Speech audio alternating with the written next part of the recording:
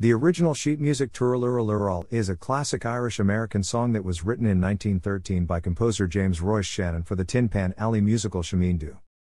The original recording of the song, by Chauncey Olcott, peaked at number one on the music charts. The song was brought back to prominence by Bing Crosby's performance in 1944's Going My Way. Crosby's single sold over a million copies and peaked at number 4 on the Billboard music charts released in 1913. The song was a number 1 hit for Chauncey Olcott.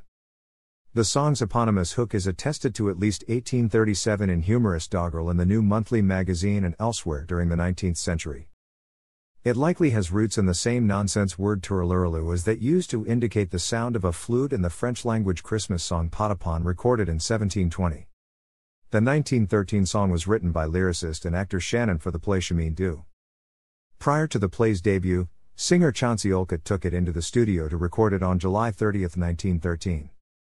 Popular, his single peaked at number one on the music charts in December 1913.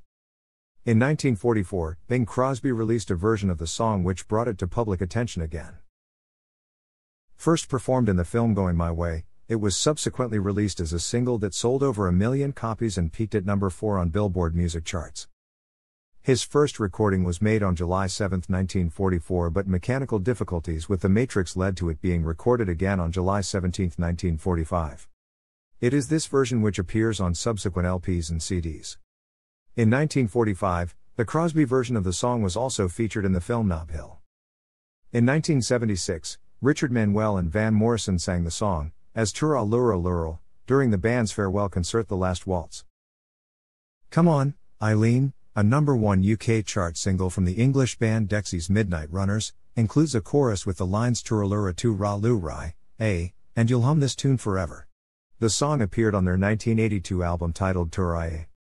Steve Martin performed the song for comic effect in the film House Sitter.